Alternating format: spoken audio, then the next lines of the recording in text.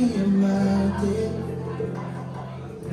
Sé que quizás tú no esperabas, pero tengo que confesarte que primero con besarte me tienes loca y no lo puedo negar.